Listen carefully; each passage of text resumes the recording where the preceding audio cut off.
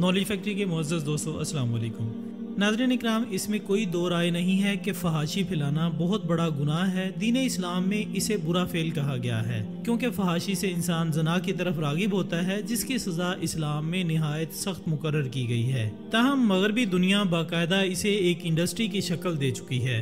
आज की इस वीडियो में हम आपको बताएँगे कि ये फहश फ़िल्म इंडस्ट्री को कौन सपोर्ट करता है और क्या ये इंडस्ट्री पाकिस्तान में भी काम कर रही है। इसी इंडस्ट्री की वजह से कैसे दुनिया भर को मफलूज किया जा रहा है, ये सब कुछ जानने के लिए वीडियो को आखिर तक ज़रूर देखिएगा। नाजरीन इकराम, कहा जाता है कि ये पोर्नोग्राफी का आगाज़ मुसलमानों के खिलाफ इस्तेमाल किए जाने वाले हथियार के तौर पर इस्तेमाल किया गया था। पोर्नोग्राफी सदियों पुराना कारोबार है, जब मुसलमानों और यहूदियों के दरमियान जंगे होती तो मुसलमान अल्लाह पाक का नाम लेकर मैदान जंग में अपनी जान की परवाह किए बगैर यहूदियों से लड़ते और अल्लाह के फजलो करम से फतह भी हासिल करते।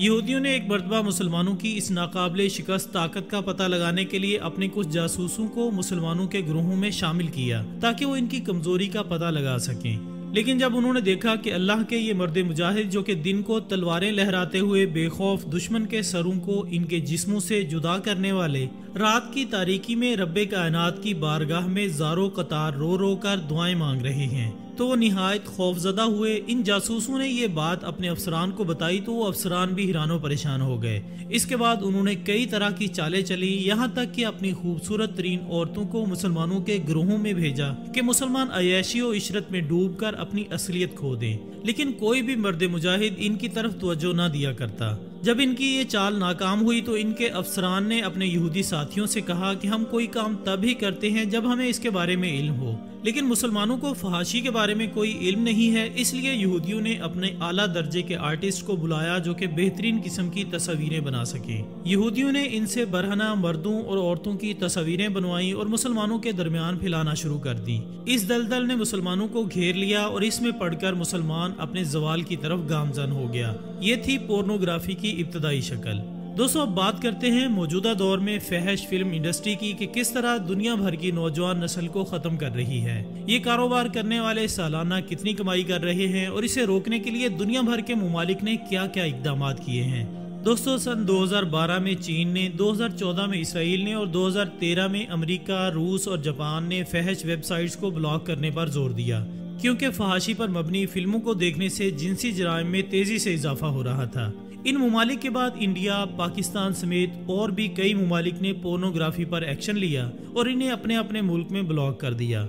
इस तरह महज कहने के लिए कागज़ी तौर पर पोर्नोग्राफी से मुतलिक वेबसाइट्स को ब्लॉक कर दिया गया। लेकिन आखिर इस बात में कितनी सजाई है? क्या वाकई ही ऐसी तमाम वेबसाइट्स पर पाबंदी लगा दी गई है? या सिर्फ़ महज दुनिया को दिखाने के लिए ही ऐसा किया गया है।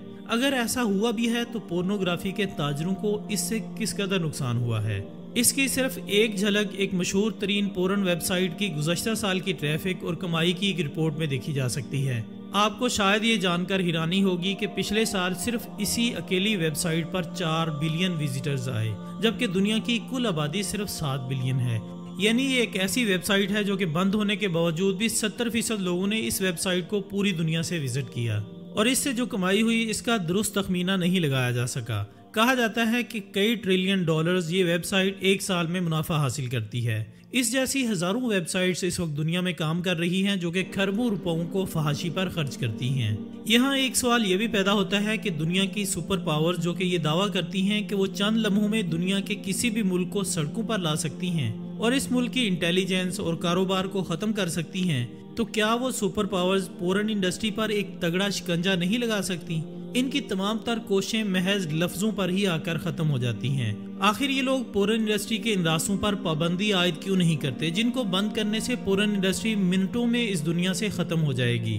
नाजरीन पोरन इंडस्ट्री में फहश वीडियोस, ऑनलाइन तवाइफ खाने और ऑनलाइन कॉल गर्ल्स और कई कैटेगरीज शामिल हैं। इनको बनाने और दुनिया भर से मुतारिफ करवाने में अमेरिका पहले नंबर पर है, जबकि दूसरा नंबर जापान का है। इसके अलावा इंडिया में भी कुछ हद तक पोरन इंडस्ट्री मौजूद है, जबकि इसराइल होटलिंग, अद्वियात और टेक्नोलॉजी में कई ममालिक से आगे है। इसलिए पोरन इंडस्ट्री में इसका किरदार रीढ़ की हड्डी का सा है।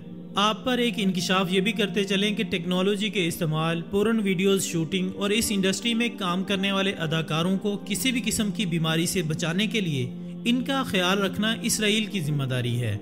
ये सब ममालिक पूरे इंडस्ट्री के ज़रिए सालाना अरबों डॉलर्स का कारोबार करते हैं, जबकि पोर्नोग्राफी के खिलाफ इकदाम भी इन्हीं ममालिक में सबसे ज़्यादा देखने को मिलते हैं। हर रोज पोरन वेबसाइट्स ब्लॉक होती हैं, लेकिन कोई भी पोरन एक्टर या डायरेक्टर गिरफ़्तार नहीं किया जाता।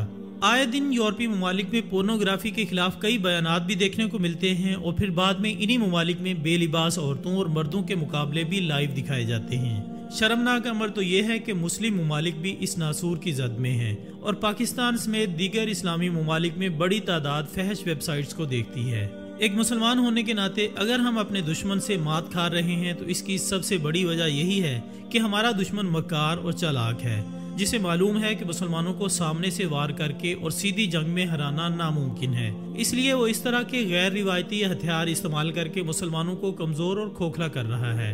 नाजीन, इस वक्त पूरी दुनिया के ममालिक पोरन इंडस्ट्री के खिलाफ इकदाम करते दिखाई दे रहे हैं। लेकिन आपको बताते चले कि दर हकीकत ये एक दिखावा है जिसकी मदद से इन लोगों को मुतमिन किया जाता है, जो कि पोरन इंडस्ट्री को बंद करवाना चाहते हैं। लेकिन जहाँ एक तरफ़ इन ममालिक में पोर्नोग्राफी के खिलाफ बयान दिए जाते हैं वहीं दूसरी तरफ़ यूरोपीय और अमरीकी रियासतों में पोर्नोग्राफी के स्कूल और स्टूडियोज खोले जा रहे हैं। यहाँ तक कि पोर्न इंडस्ट्री के सालाना अवार्ड शोज़ तक मुनद किए जा रहे हैं। यही वजह है कि पोर्नोग्राफी अपनी जड़ें मज़बूत कर रही है।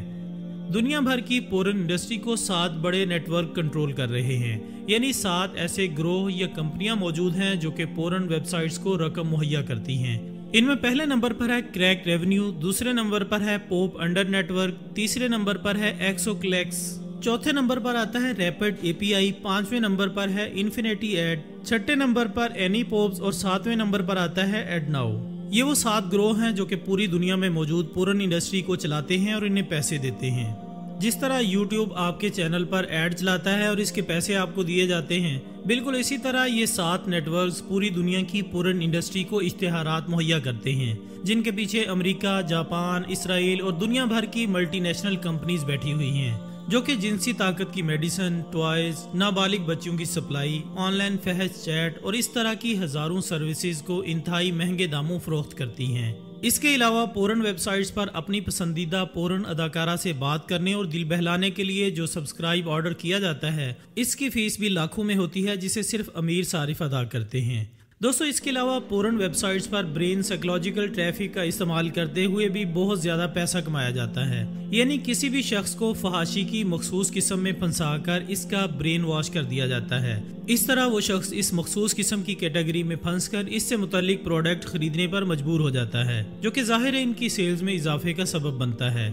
नाजरीन, जहाँ पोरन इंडस्ट्री और इसके प्रोडक्शन हाउसेज करोड़ों डॉलर्स कमाते हैं, वहीं दूसरी तरफ़ इस पैसे से अमेरिका, जापान और इसराइल जैसे ममालिक की मीशत का पहिया चलता है। सिर्फ़ यही वजह है कि इसके खिलाफ कोई हतमी एक्शन नहीं लिया जाता। अल्लाह ताला तमाम आलम इस्लाम को इस बुरी लानत से हिफाजत में रखे। आमीन सुम आमीन। इसी दुआ के साथ हमारी आज की इस वीडियो का अख्ताम होता है। इनशाला बहुत जल्द दोबारा मुलाकात होगी एक और अच्छी सी वीडियो के साथ। तब तक अपना दोस्तों, रिश्तेदारों और गिरदों के तमाम लोगों का बहुत ख्याल रखिएगा। अल्लाह हाफिज़।